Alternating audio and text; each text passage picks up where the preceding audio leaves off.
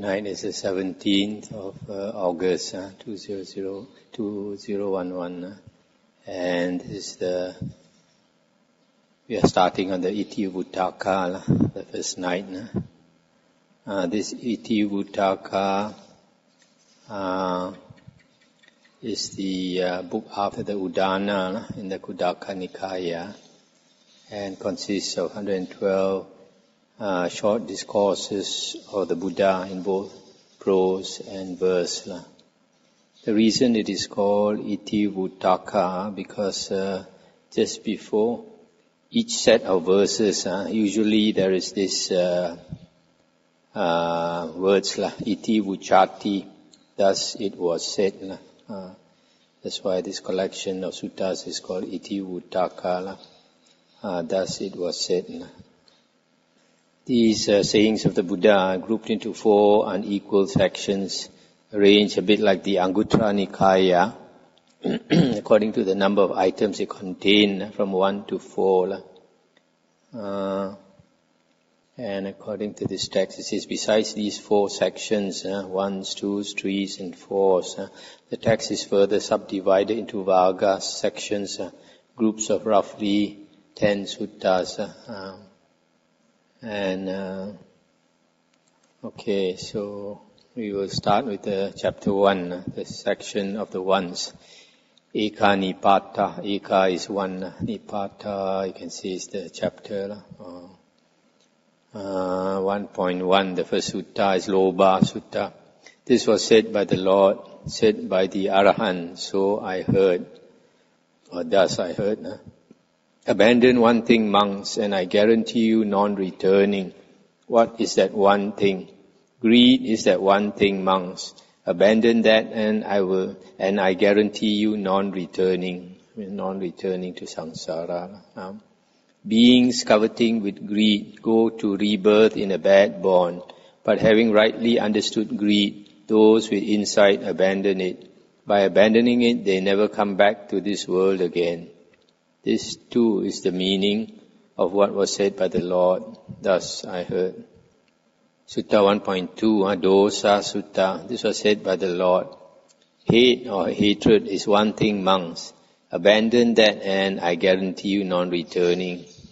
Now the, the, the beginning is same as the previous one. Abandon one thing, monks, and I guarantee you non-returning. What is that one thing? Hatred is that one thing, monks. Abandon that and I guarantee you non-returning. Beings corrupted by hate go to rebirth in a bad born.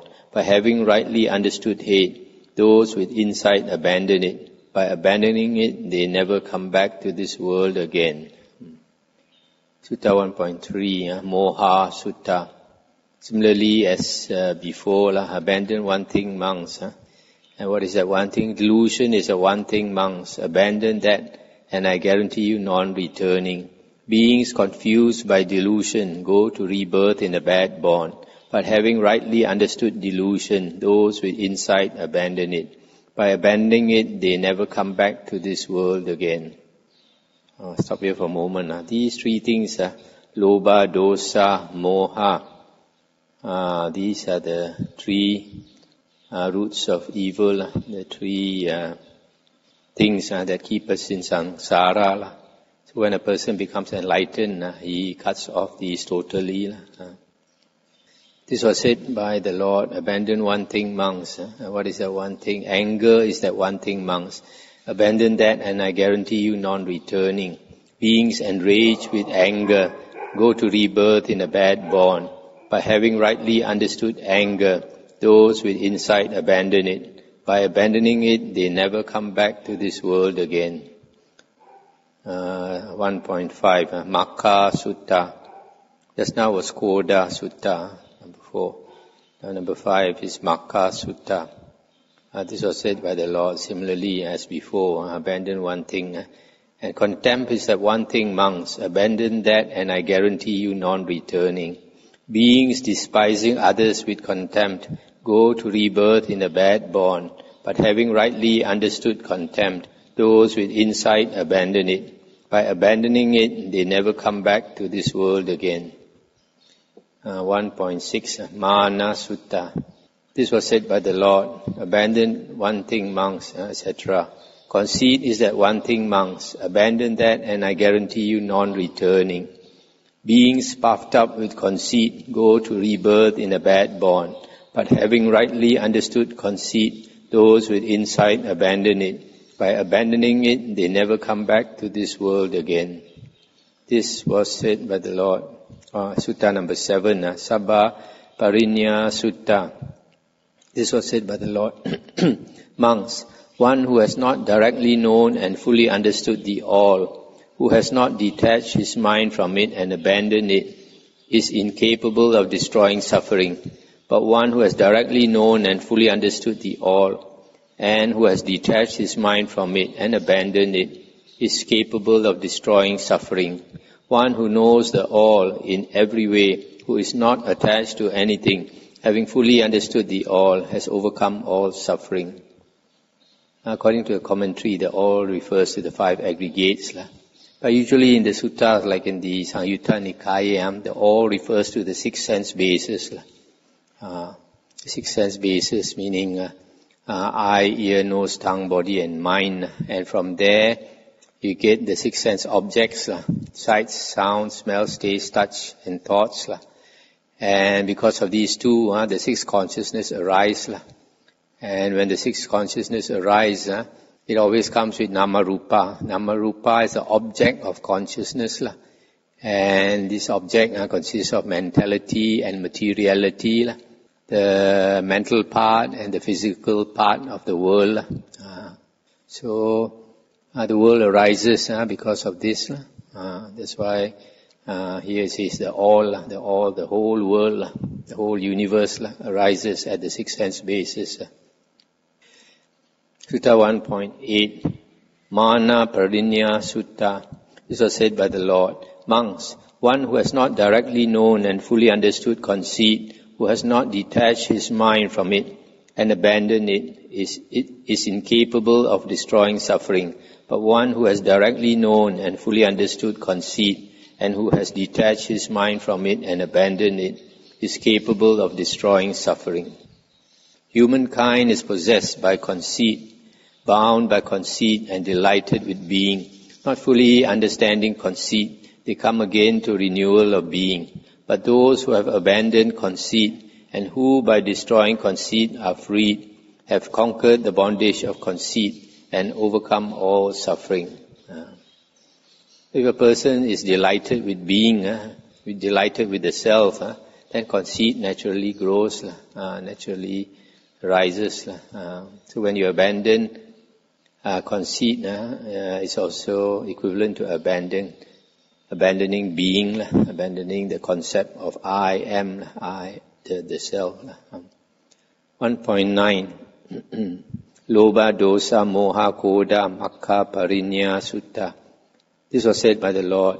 One who has directly known and fully understood greed, hatred, delusion, anger, contempt is capable of destroying suffering. Sutta 1.10 Avijja Nivarana Sutta Avijja is ignorance, na? Nivarana is hindrance. This was said by the Lord. Monks, I do not perceive any single hindrance other than the hindrance of ignorance by which humankind is so obstructed and for so long a time runs on and wanders in samsara. It's indeed through the hindrance of ignorance that humankind is obstructed and for a long time runs on and wanders in samsara. No other single thing exists like the hindrance of delusion, which so obstructs humankind and makes it wander on forever. Those who have abandoned delusion, cleaving through this mass of darkness, no longer roam and wander on. In them the cause is found no more. This delusion normally uh, is a translation of moha. But here, avijja is ignorance. Uh, and ignorance normally refers to ignorance of the Dhamma, ignorance of the Four Noble Truths. Uh. If a person does not have the good fortune uh, to listen to the Dhamma, then he is ignorant. A delusion, on the other hand, is uh, something that covers us, that makes us deluded. It is more concerning the state of mind. Uh, a person may uh, come and listen to the Dhamma, but because of the five hindrances, uh, uh, sensual desire, ill will, sloth and torpor, restlessness and worry and doubt uh, covering him, uh, so uh, he has delusion. So sometimes some people, because of strong five hindrances, their delusion is more. Then sometimes they listen to the Dhamma, so they cannot understand. Uh, so there's a difference between the two. 1.11, Tanha Sangyojana Sutta. Tanha is craving, la, Sangyojana is factor. Monks, I do not perceive any single factor other than the factor of craving, by which beings are so tight and for so long a time run on and wander in samsara. It's indeed through the factor of craving that beings are tied and for a long time run on and wander in samsara. A man companioned by craving wanders on this long journey. He cannot go beyond samsara in this state of being or another. Having understood the danger thus, that craving is the origin of suffering, a monk should wander mindfully, free from craving, without grasping. craving I said to be the cause of suffering and the Four Noble Truths. Uh, and craving arises uh, because of pleasant feelings. Uh, because of pleasant feelings, we have craving for sensual desire, and also we have craving for existence. But if the feeling uh, that arises uh, is suffering, a lot of suffering, like now the economy is no good, uh, some people go bankrupt, then uh, because of too much suffering, uh, they want to commit suicide. So they crave for non-existence. Uh, they want to commit suicide. So these are the three cravings. Craving for sensual desire, for existence, and for non-existence.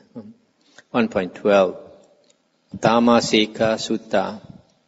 This was said by the Lord. Monks, in regard to internal factors, I do not perceive another single factor so helpful as careful attention or careful consideration uh, or thorough consideration for a monk who is a learner, who has not attained perfection but lives aspiring for the supreme security from bondage. Monks, a monk who wisely attends abandons what is unwholesome and develops what is wholesome.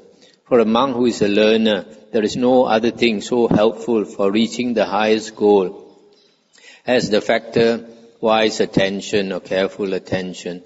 Wisely striving, a monk may attain the destruction of all suffering. This uh, wise attention uh, should be yoniso manasikara, and it is one of two uh, conditions uh, to attain right view. To attain right view, the first condition is the voice of another teaching you the Dhamma. This is mentioned in Sutta, I think, Majjhima Nikaya number 43. Uh, that Sutta, the first condition uh, for attaining right view uh, is listening to the Dhamma, somebody else teaching you the Dhamma. And the second condition uh, is Yoniso Manasikara, careful attention or wise attention or thorough attention. Uh, so uh, when we listen to the Dhamma, we must pay careful attention. Then we can understand. Uh, 1.13 Dutiya Seka Sutta. Monks, in regard to external factors, I do not perceive another single factor so helpful as good as a good friend for a monk who is a learner, who has not attained perfection, but lives aspiring for the supreme security from bondage. Monks, a monk who has a good friend abandons what is unwholesome and develops what is wholesome. When a monk has good, has a good friend and is reverential and respectful, doing what his friend advises, clearly comprehending and mindful, he may progressively attain the destruction of all factors. There is a, there is a sutta. This good friend uh, refers to Kalyana Mitta, uh, supposed to be a spiritual friend uh, or spiritual teacher. Uh, and there's one sutta where Venerable Ananda said, nah, he told the Buddha, he thinks uh, half of the holy life uh, has to do with a good friend, a good advisor. San Chi our Chinese we translate, a good knowing advisor. And the Buddha said, don't say that. And the Buddha said, ah, the whole of the holy life ah, has to do with a good friend. Ah. Unless you have a good spiritual guide, you will, you will uh, not be able to know uh, which way to go, which, how to practice. So uh, a good spiritual friend uh, is important. But now that the Buddha has come into the world, the best spiritual friend is the Buddha. And now there's this Anthony Nibbana. Uh, the Buddha is to be found in the Dhamma, in the suttas, the words of the Buddha. Is the Buddha's uh, Dhamma body, the Buddha's Dhamma body, the suttas. Uh, it, it, represents the Buddha now. 1.14 Sangha Bheda Sutta. There is one thing, monks, which when it appears in the world, appears for the detriment of many people, for the misery of many people, for the loss, detriment and suffering of devas and humans. What is that one thing? It is disunity in the Sangha. When the Sangha is divided, there are mutual quarrels, mutual recriminations, mutual denigrations, and mutual expulsions. In this situation, those who are unsympathetic are not converted, and some who are sympathetic change their minds. One who divides the Sangha abides in a state of misery in hell for the aeon's full duration. Delighting in dissent, unrighteous, he is deprived of security from bondage. By dividing a unified Sangha, he suffers in hell for an aeon. There are five things huh, uh, five types of karma, which are the most heavy uh, evil karmas la, in the whole world. Uh, the first one is to um, injure a Buddha and cause him to shed the blood purposely. Second one is to kill an arahant. Third one is to kill your mother. Fourth is to kill your father. The fifth is to cause the sangha to, to split into two sanghas. But this normally refers to monks. Uh, monks who create problems within the Sangha and divide the Sangha into two camps, uh, like Devadatta.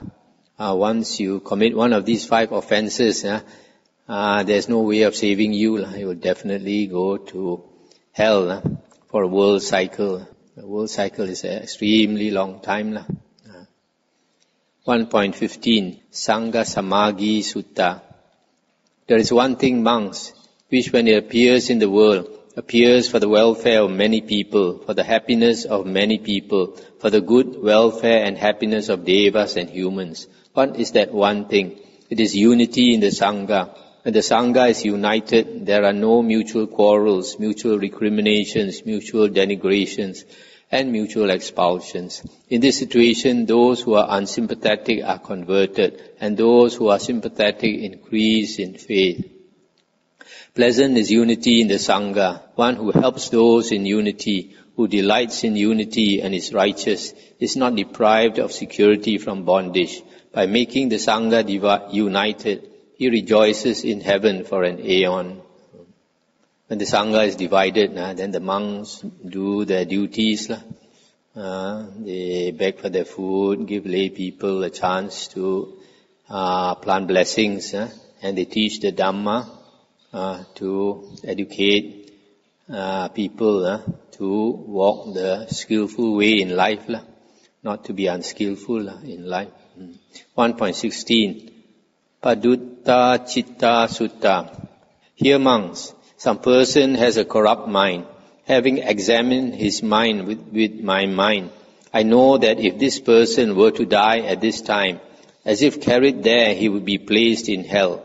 What is the reason for that? It is because his mind is corrupt. It is because of the mind's corruption that some beings here, when the body perishes, are reborn after death in a state of misery, a bad born, a state of ruin, hell. Understanding the corrupt mind of some person dwelling here, the Buddha explained its meaning in the presence of the monks. If that person were to die at this very moment now, he would be reborn in hell because of his corrupt mind as if they were carried off and placed there. Thus, beings go to a bad born because of mind's corruption. Uh, Uh, you all probably know uh, in the Dhammapada, the first uh, verse uh, is about mind being the forerunner of all states. La. Mind is foremost, mind is chief. Uh, so, uh, our mind is extremely important. 1.17 Pasanna Chitta Sutta Here among some person has a confident mind. Having examined his mind with my mind, I know that if this person were to die at this time, as if carried there, he would be placed in heaven. What is the reason for that? It is because his mind is confident. It is because of the mind's confidence that some beings here, when the body perishes after, uh, when the body perishes, are reborn after death in a good born in a heavenly world. Understanding the confident mind of some person dwelling here, the Buddha explained its meaning in the presence of the monks. If that person were to die at this very moment now, he would arise in a good bond because of his confident mind, as if they carried off, they were carried off and placed there. Thus beings go to a good bond because of mind's confidence. This confidence uh, should be confidence in the Dhamma, or you can say faith in the Dhamma. Uh, 1.18, Metta Sutta. Monks, do not fear meritorious deeds.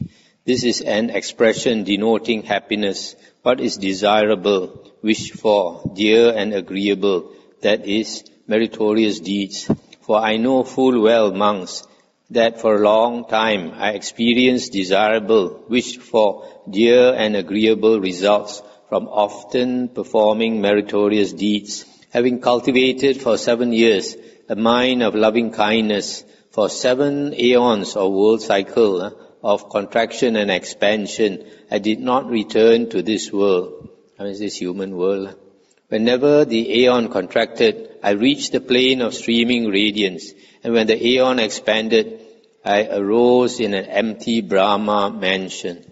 And there I was a Brahma, the great Brahma, the unvanquished victor, the all-seeing, the all-powerful. Thirty-six times I was Sakka, Devaraja, and many hundreds of times I was a wheel-turning monarch, righteous, a king of righteousness, conqueror of the four quarters of the earth, maintaining stability in the land, in possession of the seven jewels. What need is there to speak of mere local kingship? It occurred to me, monks, to wonder, of what kind of deed of mine is this the fruit? Of what deeds ripening is it that I am now of such great accomplishment and power? And then it occurred to me, is the fruit of three kinds of deeds of mine. The ripening of three kinds of deeds, that, that I am now of such great accomplishment and power. Deeds of giving, dana, of self-mastery, dama, and of refraining, sanyama. Uh, one should train in deeds of merit that yield long-lasting happiness, generosity, a balanced life, developing a loving mind, by cultivating these three things, deeds yielding happiness, the wise person is reborn in bliss, in an untroubled, happy world. Uh, this, uh, when the world uh, contracted, uh, and then uh, that means the end of the world. Then he was reborn in the plane of streaming radiance. This should be the second jhana heaven. Then after that, he arose in the Brahma mentioned. The Buddha mentioned uh, in some other sutta that our actions in this life, in the on the human plane, uh, uh, is the effects of it is carried on for many lifetimes. Uh, so that's why the human realm uh, is extremely important. Uh, we create a lot of karma here. I like the heavenly beings who enjoy, enjoy, enjoy, and use up their blessings. And then the beings in the woeful plane suffer every day miserable, uh, and uh, they just keep uh, suffering. Uh, they don't create so much karma, but we as human beings, uh, we create a lot of karma. We use the mind a lot. So the next few lifetimes uh, is all decided by the human life. Uh, so you see, uh, after he was born as the great Brahm, uh, the, in the second jhana heaven, after that he fell to the First jhana heaven, Mahabrahma. After that, fell to the Sakadeva Raja. After that fell to the human, became the wheel turning king. So you see the good karma lasted so many lifetimes. So he said, this is the fruit of three kinds of deeds, karma. Uh, one is dana, generosity, doing charity. Second one is self-mastery. Uh, you can say um, mm, self-mastery, mastery, for example, of your mind. That means uh, bhavana, development of the mind. And of refraining, uh, refraining from doing evil, that is sila. Uh, so we find in the other suttas, uh, the Buddha says there are three bases of merit, uh, getting blessings. Lah. Dana, Sila and Bhavana. Uh, dana is giving. Uh, sila is refraining from evil action. Hokkien we say Kim Ok, yeah? Uh, restraining yourself from evil. And the third one is Bhavana, development of the mind. That means you you you you uh, you master your mind. So that's why it's called self mastery. Uh, it's because he mastered his mind uh, that he could be reborn in the second jhana heaven. Uh, without the uh, second jhana, how to be reborn there? Uh, now we come to 1.19. Ubhayattha Sutta. There is one thing monks developed and continually practice by which both kinds of welfare are acquired and maintained. Welfare here and now and that pertaining to the future. What is that one thing? It is diligence in wholesome states. This is that one thing. The wise praise diligence in doing deeds of merit. For one who is wise and diligent obtains a twofold benefit, welfare in the here and now and welfare in a future life. And because one has realized the good, the wise person is called a sage. Uh, so here, welfare now means uh, in this present life, la, and future means in the future lifetimes. La. Uh, that is uh, diligence in acquiring wholesome states. La. Hard working, la. energetic effort. La. Uh, the Buddha says uh, uh, there is one thing that can benefit us. in some other sutta, says there's one thing that can benefit us this life and future lives. what is that one thing? Diligence. Diligence in in doing good, in cultivating good, skillful life. Uh, 1.20, Atthipunja Sutta. Monks, the skeletons of a single person running on and wandering in samsara for an aeon would make a heap of bones, a quantity of bones as large as this Mount Vepula, if there was someone to collect them and if the collection were not destroyed. The bones of a single person accumulated in a single aeon or world cycle would make a heap like a mountain, so said the great, great sage. He declared it to be as great as Mount Vipula to the north of Vulture's Peak in the hill fort of Magadha. But when one sees with perfect wisdom the Four Noble Truths as they are, suffering, the origin of suffering, the cessation of suffering, and the Noble Eightfold Path leading to relief from suffering, having merely run on seven times at the most by destroying all fetters, one makes an end of suffering. Uh, so when uh, one understands the Four Noble Truths, uh, then uh, one becomes a Sotapanna and, and has uh, seven more rebirths at the most. Uh, and after destroying all the fetters, one enters Nibbana. So we have been in samsara for so long. Uh, even this one one world cycle, the Buddha is only talking about one world cycle. Uh, our bones uh, will be as much as Mount Vipula. Uh, but how many world cycles we have been in samsara? Have been for a long time in samsara. That's why today we are spiritually mature enough uh, to be interested in the Dhamma. Uh, many world cycles ago, uh, when we were animals, uh, if you, somebody try to teach you the Dhamma, or you're a ghost, you're also not interested. but now we have suffered after so many lifetimes, then we are interested in the Dhamma. 1.21, Musavada Sutta. Monks, I say that for an individual who transgresses in one thing, there is no evil deed whatsoever he would not do. What is that one thing? It is this, monks, deliberately telling a lie. There is no evil that cannot be done by a person who, deliber- who deliberately lies, who transgresses in one thing, taking no account of the next world. Uh, so a person who purposely tells a lie uh, is a shameless person. And a shameless person uh, can do anything. Uh, he's not ashamed to do anything. 1.22 Dana Sutta Monks, if beings knew, as I know, the result of giving and sharing, they would not eat without having given, nor would they allow the stain of meanness to obsess them and take root in their minds. Even if it were their last morsel, their last mouthful, they would not eat without having shared it, if there were someone to share it with. But monks, as beings do not know, as I know, the result of giving and sharing, they eat without having given. The stain of meanness obsesses them and takes root in their minds. If beings only knew, so said the great sage, how the result of sharing is of such great fruit, with a gladdened mind, rid of the stain of meanness, they would duly give to noble ones, who make what is given fruitful, having given much food as offerings. To those most worthy of offerings, the donors go to heaven on departing the human state.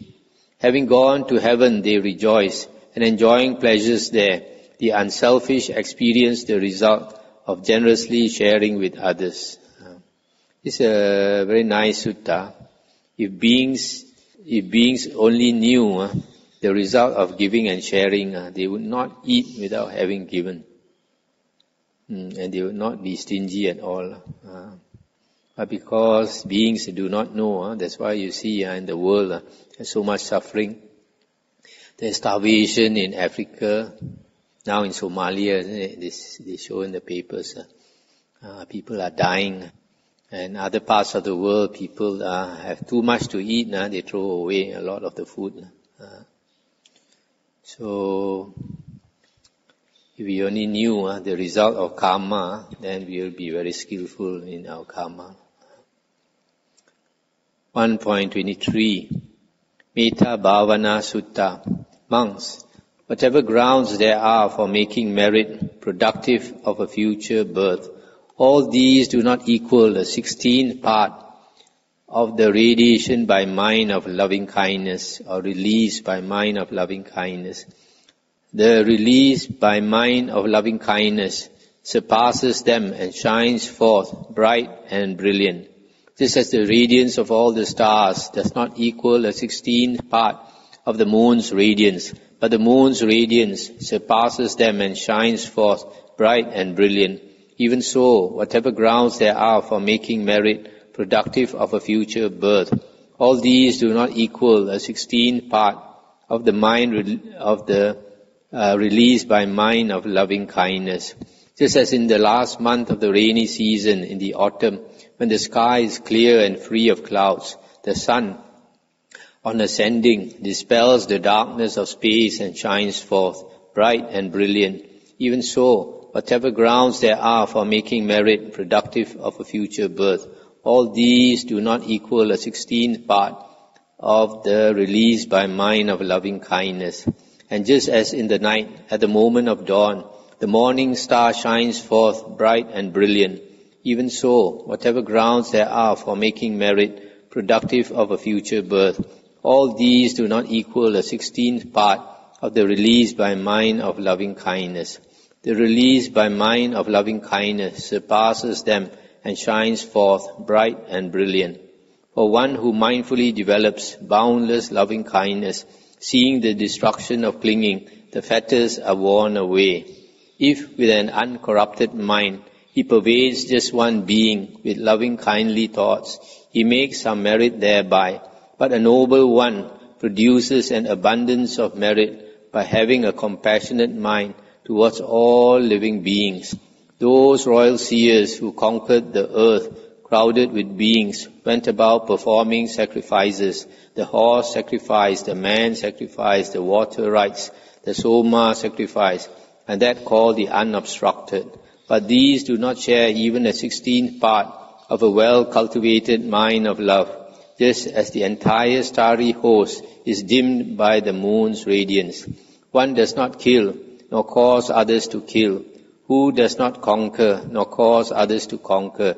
Kindly towards all beings he has enmity for none. This too is the meaning of what was said by the Lord. Thus I heard. So here, uh, whatever dana we do, lah, cannot compare at all uh, to the mind of loving kindness. Why? Because uh, sometimes we do dana also, uh, we still have selfishness, meanness inside us. But if you have a loving kindness, uh, the Buddha says, uh, mind is a forerunner of all states. So if you have loving kindness towards all beings, uh, then you will always be kind towards all beings. Whereas you do dana, only sometimes you do dana, sometimes you are selfish.